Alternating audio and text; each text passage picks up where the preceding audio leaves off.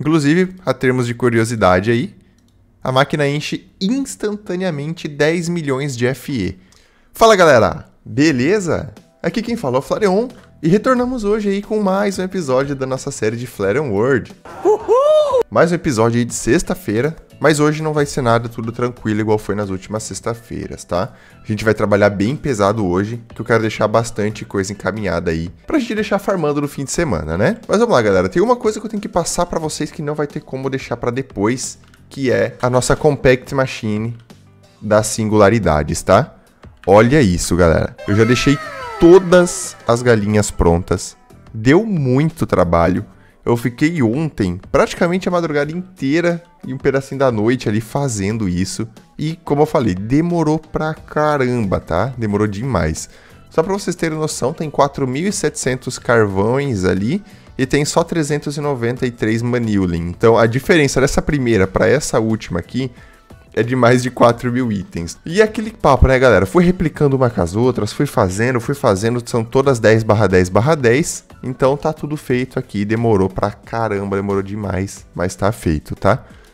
Teve umas gambiarras que eu tive que fazer, por exemplo, a galinha de ouro, ela não produz ouro, ela produz gold nugget. Então eu tive que passar por um crafter, daí pro crafter entrar no quantum compressor. Mesma coisa a galinha de Enderium e a galinha de Iridium. Eles produzem somente nuggets, né? Mas tá tudo fazendo aqui. Mais cedo ou mais tarde vai ficar tudo pronto. E é só a gente esperar e não tem muito o que fazer também, tá? Beleza, esse é o principal ponto, foi a única coisa que eu fiz de alteração aqui no nosso mapa. E agora eu tenho que falar para vocês no que, que a gente vai trabalhar hoje. Primeiramente, eu acho que eu vou trabalhar na coisa mais simples, mais fácil que a gente tem, que é o Infinity Catalyst. Eu sei que é meio estranho de falar isso, mas a gente vai trabalhar aí nas joias, tá? Como a gente tem bastante coisa já encaminhada, eu acho bacana a gente deixar as joias aí também encaminhadas já, né? Só que para isso, a gente vai precisar de uma coisa, uma coisa bem importante aí para falar a verdade. A gente vai precisar deixar pronto mais alguns desses Energy Condenser. O Energy Condenser, para quem não lembra, é essa receita, né? Mas eu acho que a gente consegue, galera, porque agora a gente tem muito, mas muito Mobius Fuel. Temos 21 Mobius Fuel e se a gente precisar mais, a gente tem muito EMC estacado aqui. Então acho que vai ser tranquilo a gente estar tá fazendo mais uns desses Energy Condenser aqui. E eu quero fazer eles por um único motivo, galera. Seguinte, a joia da realidade, por exemplo, a gente precisa de Obsidian. Isso é tranquilo porque a gente pode trabalhar com as galinhas, né? A joia da mente é Borrow Enchanting. A gente também já tem essa produção feita, então é bem sossegado. Joia da alma, a gente precisa de Soul Sand. Tem galinha de Soul Sand também. E as últimas joias, a joia do poder, a joia do espaço e a joia do tempo, a joia do poder a gente precisa de espinafre. A joia do espaço é do é da bússola. A bússola a gente até consegue trabalhar com as galinhas, mas eu vou tra trabalhar com EMC porque eu acho melhor. E a joia do tempo é com o relógio. Então vou deixar isso aqui pronto. Pelo menos o, os Energy Condenser e a gente já retorna aí, beleza? Rapaziada, Vou falar para vocês que demora, viu? Caramba, cara, eu tive que transformar muito EMC no nosso Energy Condenser para fazer Dark Matter e tudo mais, transformar tudo em carvão. Olha, não foi tão simples não, mas enfim. Demorou uma horinha aí no máximo, já tá pronto aqui. Agora a gente pode trabalhar no nosso nessa parte que a gente tá querendo aí, né? Mas vamos lá, rapaziada. O que que a gente tem que fazer aqui? Primeiramente, a gente vai precisar de um Quantum Compressor e de um Crystal Tine Catalyst. Aqui agora a gente vai ter que fazer umas ligações, tá, rapaziada? Porque, seguinte, essas duas primeiras aqui é bem tranquilo. Porque, por exemplo, se eu quiser fazer aqui primeiramente a joia da realidade, é só colocar Obsidian, né? Então, é só puxar a nossa galinha de Obsidian pra cá, ó. É bem, bem tranquilo. A segunda, que vai ser a joia da alma, que é a Soul Sand, também é bem tranquilo. Aí, né? Bem, bem sossegado. Aqui vai fazer a nossa joia, joia da realidade e a outra é a joia da alma, tá? Para as outras joias fica um pouco mais complicado agora, porque a gente vai ter que fazer uma produção de MC à parte para cada uma das joias. A joia da mente, a gente precisa de Borrow Enchanting. A gente pode puxar daquela nossa outra farm ali, mas eu não quero não. Eu vou fazer a partir daqui mesmo. Vou trabalhar numa uma produção de MC aqui atrás e vou puxar para os nossos Quantum Compressors pra gente ter uma, uma produção a partir deles mesmo, tá? E beleza, rapaziada, eu fiz aqui uma produção, como eu falei, bem, bem básica aí do de MC com Terra Steel Seeds, né?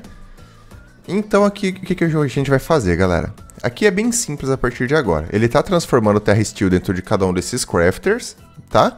E cada um desses crafters vai mandar Terra Steel para dentro de cada um desses Energy Condenser aqui. Então, tipo assim.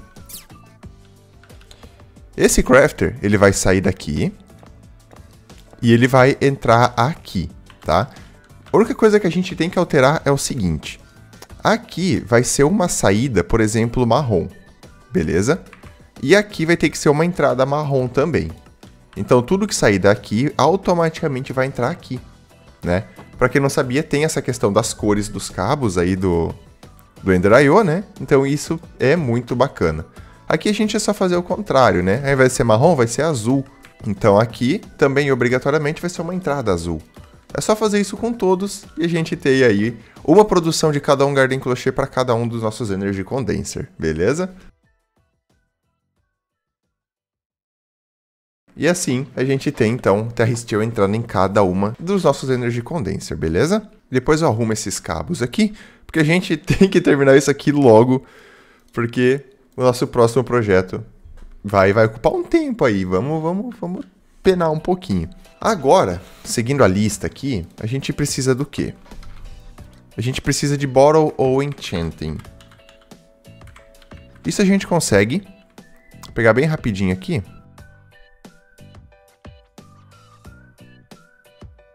Beleza. Para quem não sabe, né, galera, também temos essa ferramenta que é a Yeta Range. Como vocês viram, a gente consegue tirar e colocar ligações entre, entre os cabos do Ender.io, mesmo eles sendo da mesma cor, tá?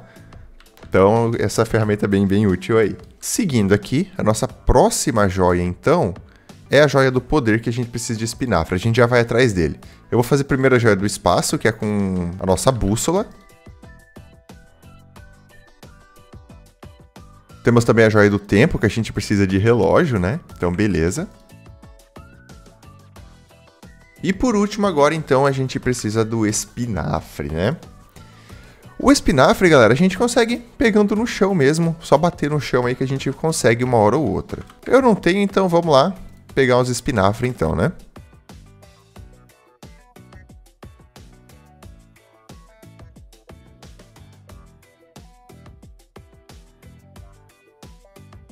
Duas horas depois. Seguinte, galera. Frustra... Frustrante, mas foi. Demorei muito para pegar o, o nosso espinafre. E depois de um tempo que eu fui ver que a gente consegue comprar uma semente aqui naquele market que é do próprio Pans. E então, antes de você sair igual louco, igual, igual eu pelo mundo aí batendo em todas as folhas que tem no chão, compra no market, que é mais fácil, beleza? E a partir de agora, temos aí finalmente todas as joias sendo feitas, tá? Beleza, deixa produzindo aí praticamente que, praticamente que eternamente e depois aqui no meio a gente pode pegar e colocar os nossos discos aqui quebrados para fazer também, tá? Mas isso aqui eu não vou correr atrás hoje porque ele é bem, bem simples. O que eu quero fazer agora na sequência, galera, é aquilo que eu falei há um tempo atrás que a gente ia acabar fazendo também, que é um cabo que passa energia aí infinita, ele não tem limitação de energia, tá? Se vocês forem ver aqui, ele fala, ó, transferência Infinity RF por tick. Então, como a gente estava tendo problema com cabos aí passando energia, eu separei já essa Compact Machine aqui para a gente estar tá trabalhando nisso hoje. Vai ser uma máquina, um processo meio, meio louco, vocês vão ver. Ele, ele é meio bagunçado assim, mas vamos lá que, que com fé o negócio sai aqui. A primeira coisa que eu já vou adiantando para vocês, galera, que é uma das mais dificilzinhas aí de ser pego, é o gel de Cryotheon. O gel de Cryotheon ele vem dessa Cryotheon Dust, que por sua vez vem da Bliss Powder. A Bliss Powder ela dropa de um mob chamado Bliss. Ou você faz uma galinha de Bliss. A galinha é a forma mais fácil de se fazer aí, porque é só uma de Blitz com uma de Snowball, de Snowball a gente já tem, e a de Blitz. Blitz também é outro mob, todos eles são bem parecidos com o, com o nosso Blaze, né? Vou correr atrás dessa galinha e a gente já retorna aí. É tudo movida galinha nesse mod mesmo. Vamos lá. Mas, beleza, já tá feita aqui a galinha, demora demais, eu não aguento mais fazer galinha. A pior parte eu acho que era pegar o Bliss mesmo, tá? A partir de agora, é um pouco mais tranquilo, tá? O que, que a gente tem que fazer aqui, galera? Para a gente estar tá fazendo o nosso Creo Stabilizer Flux Duct, que é o, o cabo aí que passa energia infinita, né? A gente precisa de alguns itens que a gente já tem, né? Então vai ser um pouco melhorzinho aí da gente estar tá trabalhando. Vamos começar aqui do início. Ó, a gente vai precisar de um Hardened Glass e de um pouco de Electron para fazer os primeiros Redstone Flux Duct. Né? Então vamos lá. Electron, eu acho que a gente tem alguma galinha. Ou Fused Quartz também. Não, beleza. Fused Quartz a gente consegue fazer a nossa Alloy Smelter. Que é bem, bem fácil até. Como a gente precisa fazer esse cabo aqui primeiro, vamos começar ali por ele de certa forma, tá? que é bem simples. A gente só precisa de Fused Quartz. Fused Quartz, para quem não sabe, é só a gente colocar um pouco de Nether Quartz na nossa Alloy Smelter.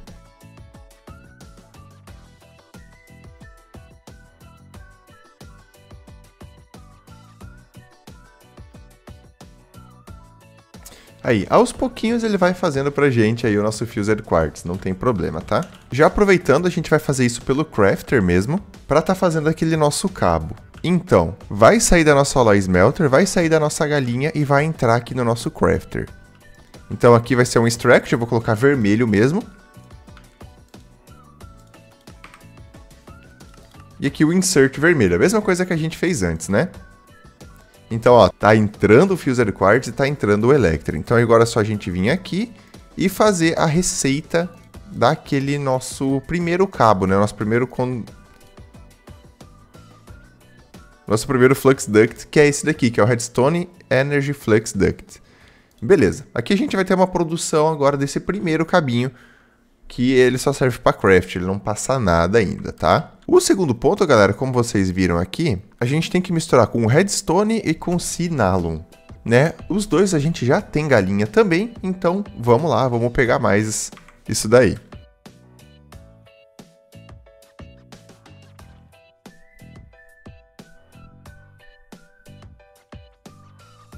Beleza, a nossa galinha de Signalum e de Redstone estão aqui. E agora a gente só precisa... Eu não sei se esse cabo já tem que estar tá cheio de Redstone, eu não, não tenho certeza, vamos testar sem. Como vocês viram, a gente precisa primeiramente de Signalum Nugget, né? Então isso aqui vai ser um interno. E agora sim, na segunda recipe, daí a gente vai ter que misturar o nosso Flux Duct com Nugget e Redstone. Eu não tenho certeza, galera, como vocês estão vendo aqui, aqui ele fala que a gente tem que encher com um Destabilizer Redstone, mas como eu falei, eu não tenho certeza se precisa agora desse processo. Eu vou tentar fazer sem, se não for a gente volta e faz de novo aí, não tem problema, tá? Mas então esse aqui vai ser um extern. E é dessa forma aqui. Então agora já está saindo aqui para a gente o nosso Signalum Flux Duct. O próximo passo agora, a gente vai precisar de Enderium e Redstone.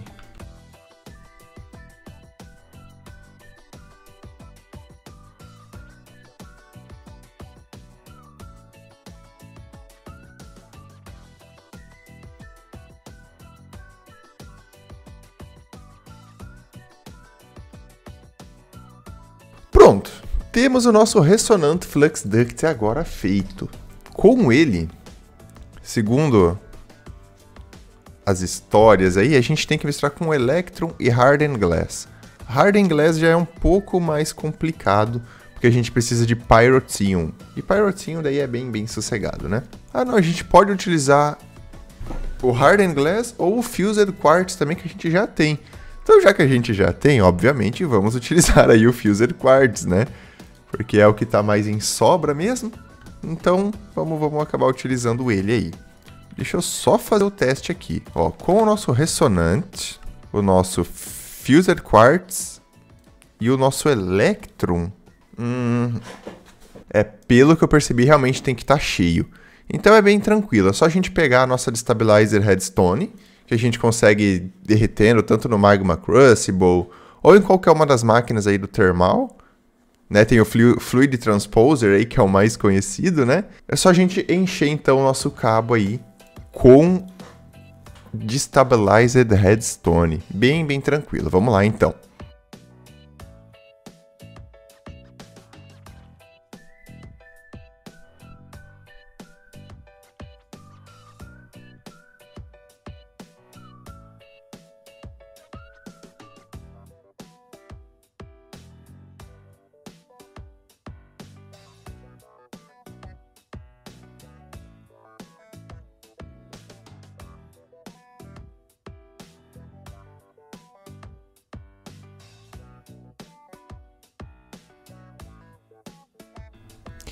E aí, ó, beleza. No nosso Magma Crucible, então, a gente está derretendo a redstone. Ela está entrando automaticamente aqui no nosso Fluid Transposer e o Fluid Transposer está dando fio, né? Ou seja, ele está enchendo esse item aqui de cima, que é o nosso ressonante Flux Duct.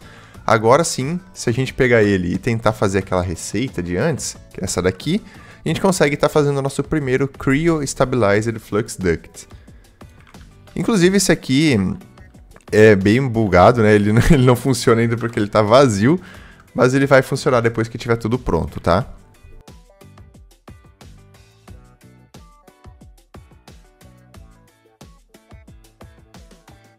Beleza, estamos conseguindo nosso Ressonant Flux Duct. Agora, a gente tem que misturar tudo isso para estar tá fazendo nosso Creo Stabilized Flux Duct bem, bem sossegado. Eu não vou utilizar essa mesma questão daqui, eu vou fazer outra aqui desse outro lado, porque senão ele quebra um pouco da linha de crafting aí, né? Digamos, se começa a faltar Electron aqui, ele vai começar a faltar o nosso... É, esse cabo, esse cabo vai começar a faltar aqui e assim por diante, né? Então eu já vou fazer outro Alloy Smelter aqui, outra galinha aqui, que a gente começa a produção a partir daqui novamente, beleza? E é isso aí mesmo, rapaziada. Já fiz tudo certinho aqui, eu já vou explicar passo a passo para vocês, para ficar um pouco mais fácil de se entender, mas é bem, bem tranquilo, tá? Aqui a gente já está conseguindo nosso Creo Stabilized Flux Duct, só que ele está vazio, ele está empty, né? A gente tem que encher ele, e encher ele do quê? De gelo de Creation. Então a gente precisa de mais um Fluid Transposer, e nesse Fluid Transposer aqui, a gente vai colocar nossa galinha de gelo de Creation. Mas como no, no outro crafting, a gente precisa aí de mais um Magma Crucible, que é o que derrete, é o que transforma o item no item derretido, né? Eu lembro de ter jogado alguma outra vez, cara, nesse mesmo modpack e ele tava com a receita um pouco diferente para fazer esses cabos aqui, mas não tem problema. Dessa vez a gente tinha bastante coisa para fazer com as galinhas aí, né? Então isso acabou ajudando um pouco a gente. Mas vamos lá. Agora é a parte mais fácil aqui do negócio. A gente coloca a nossa galinha de Bliss aqui dentro, pede para entrar aqui no nosso Magma Crucible, né? O nosso Magma Crucible vai receber por cima e ele vai sair automaticamente pela direita. E o nosso Fluid Transposer, ele vai receber automaticamente pela esquerda. E pronto. Ele pode sair pela direita aqui, não tem problema. Nossa, eu tô muito louco, eu tô esquecendo de um passo muito importante, que é fazer o Creation a gente não precisa do Blizz, a gente precisa do Creotions, né? Então, peraí, peraí. Vamos lá, vamos do início, que é um pouquinho maior do que eu tava pensando. Beleza, galera, agora sim. Eu peguei um pouco mais de galinha de Snowball, que a gente já tinha. Eu só é, procriei elas aí para conseguir mais, né, pra gente. E agora, a gente vai ter que fazer uma, uma, uma gambiarrinha aqui. Tá ligado já, né? Porque, ó, da seguinte forma. Novamente aí a gente vai ter que trabalhar com o Crafter, é uma das melhores máquinas aí que a gente tem, né, cara? Faz craft automático, beleza. Essa máquina é top demais. Aqui a gente vai fazer o seguinte, galera. A gente vai colocar nosso Bliss aqui e ele vai produzir pra gente as Bliss Rod. O que a gente vai ter que fazer é o seguinte, colocar um internal aqui, porque ele vai ter que craftar automaticamente Bliss Powder pra gente. Aqui ele vai craftando automaticamente, tá? Uma coisa que eu sempre falo, tá, rapaziada? Sempre se esqueça de colocar o Remember the Current Items aqui. Ou seja, ele vai sempre lembrar desses itens que tem ali e ele nunca vai deixar entupir. Tá? Porque, ah, digamos, vai, vai que falta Bliss aqui, por exemplo. Ele enche isso aqui de redstone e não pode mais entrar Bliss e a nossa receita fica travada. Então sempre deixa um remember que esse slot aqui, não importa o que entrar aqui dentro, ele vai ser do Blizzrod. Eu já falei isso algumas vezes, mas não custa relembrar, né? É bem, bem importante você lembrar disso sempre. Então, ó, esses são os itens que eu quero, então eu só dou um remember aqui. Eu sempre quero que tenha Blizzrod, Blizz Powder, Headstone e Snowball, tá? Tranquilo. E aqui vai a nossa última receita, né? Que são duas Bliss Powder, uma Snowball e uma Redstone a gente faz o Creotium Dust. Esse aqui vai ser um external, ele vai sair da nossa máquina sempre, tá? Beleza. A partir de agora sim é aquela parte que eu estava me adiantando um pouco antes. O Creotium aqui, Creotium Dust, ele vai sair e vai entrar no nosso Magma Crucible e o nosso Magma Crucible vai, vai transportar para o nosso Fluid Transposer aí. Então é só colocar um cabo aqui.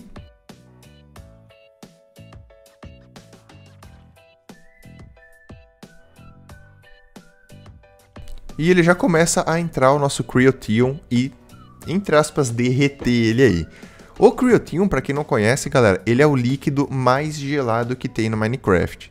Pelo menos numas versões mais novas, ele é o único líquido que a gente consegue colocar no Nether, a não ser os líquidos quentes, né? Lava, Pyrotium, tudo mais. Ele é tão gelado que ele não derrete no Nether. E aqui, para mostrar para vocês, o gel de Pyrotium, como eu disse, ele é tão gelado que ele faz neve no Nether. E ele dá dano na gente, porque deve estar tá muito gelado, né? Então fica de conhecimento aí para vocês. Caso isso seja útil para você de alguma forma, é só estar tá utilizando aí.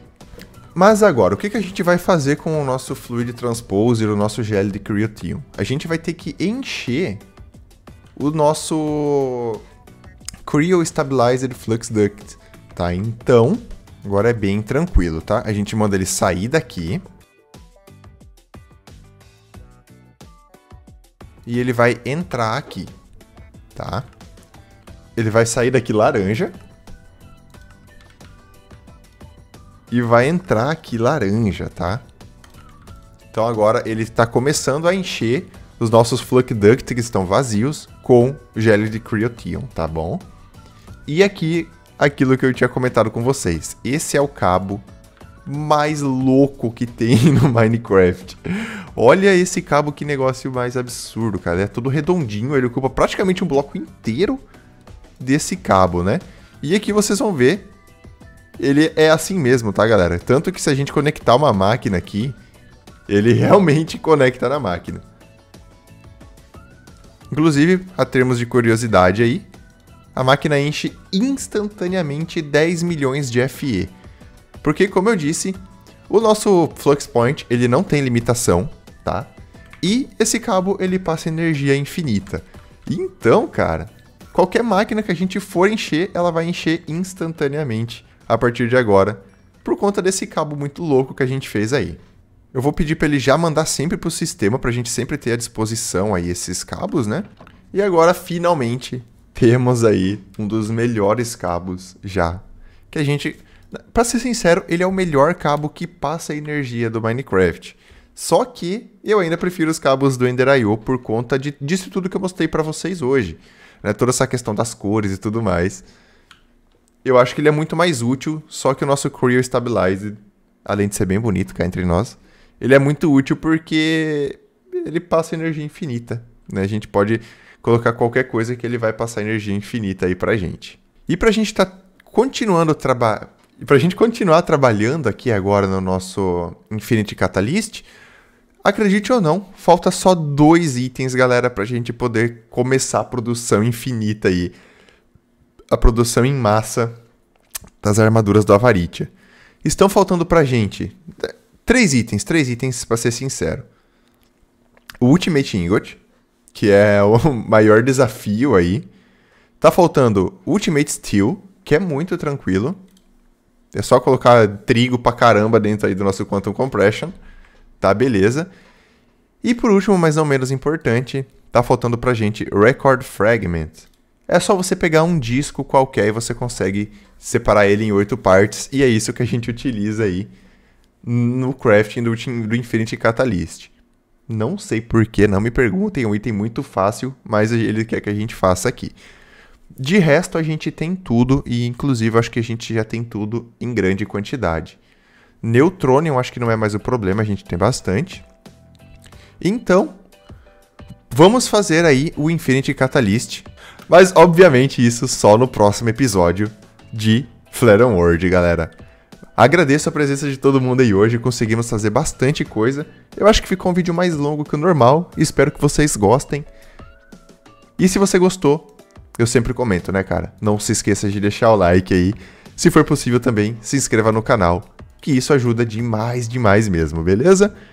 Qualquer dúvida, deixe aí nos comentários, qualquer dica também, estou aceitando. E no mais, é isso. Nos vemos aí na segunda-feira, galera. Muito obrigado pela presença e eu fui. Falou!